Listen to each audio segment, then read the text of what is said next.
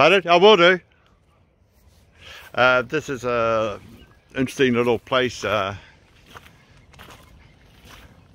my friend here just told me uh, nobody's ever been fined here since he's been coming camping here.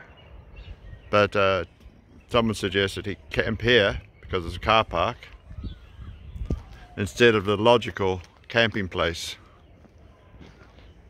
I'll show you the view. This is a Mangawhai, Mangawhai Heads boat ramp. And uh, I've been fishing there, caught some uh, pori uh, fish just out here by the boats with my net. Now, says no camping, but uh, there's three people camping here tonight, looks like.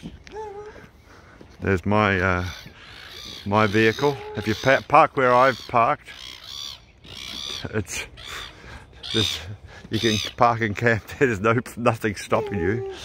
They say don't camp here, but uh, since I've been here over here, there's been a beautiful old bus, all kitted out with his gear heading up north. He was at the bus convention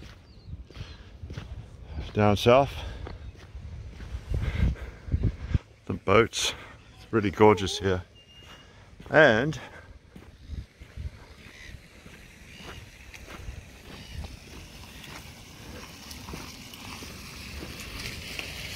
the toilets here are open 24 hours a day.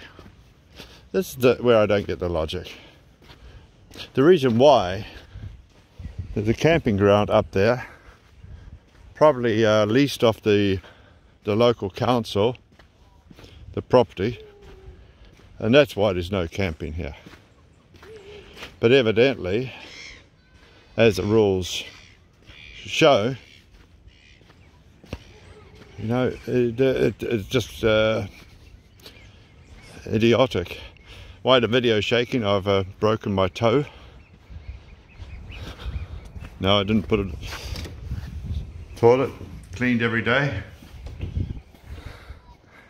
and a beautiful view of uh, Mangawhai Heads. Where I I've camped here but I ended up camping I had dinner here and I camped over by uh, in one of the building projects. But now nothing happens. The fine here for is 150 but as I said nobody's been fined. That's the place